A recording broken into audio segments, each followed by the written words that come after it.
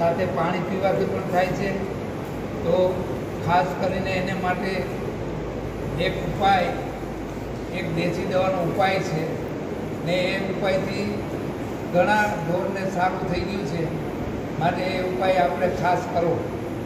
એક તો હળદર લેવાની, સાથે કાળા મરીનો ભૂકો લેવાનો, સાથે ઘી મિક્સ કરવાનું, અને કાં સાકર અથવા મધ મિલાવીને એક લાડુ જેવું બનાવી અને રોટલીની અંદર નાખીને ગાયને ખવડાવવામાં આવે છે.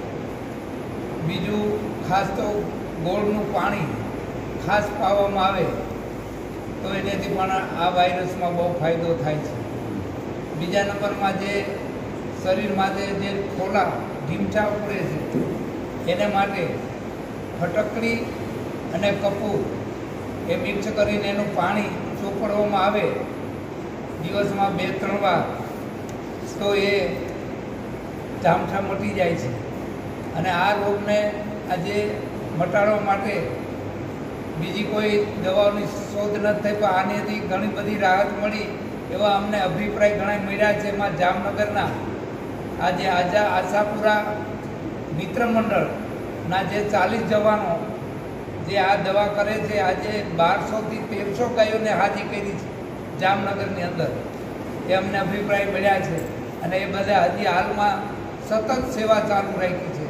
તો ગામે ગામ બધા જાગૃત થઈ અને ગાયો માટે જો આ સેવા કરે, તો જો ગાય બચશે તો દેશ બચશે અને ગાય એક માતા છે, એ માતાને જો આપણે બચાવીશું નહીં, તો આપણે આપણે ધર્મથી નીચા કહેવાય. જો ધર્મનું સાચું પાલન તો કર્યું કહેવાય કે ગાય અને બળદને બચાવીએ એ આપણા મેન પશુઓ છે. અને ગાયની અંદર તો તેત્રીસ કરોડ દેવતાનો વાદ છે. પૂજનીય છે વંદનીય છે. તો એને બચાવવા માટે ખાસ દરેકે મહેનત ઉઠાવવી જરૂરી છે.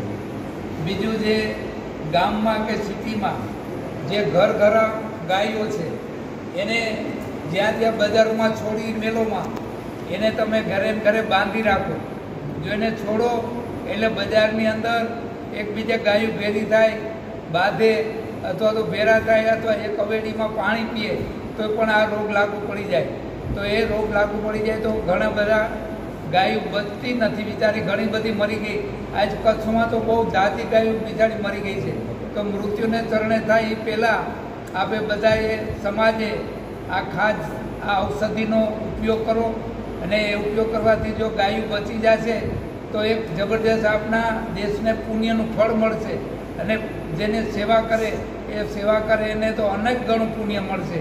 એ સેવા કરવા માટે બધા જાગૃત થાય એવી અમારી ખાસ ભલામણ અને વિનંતી.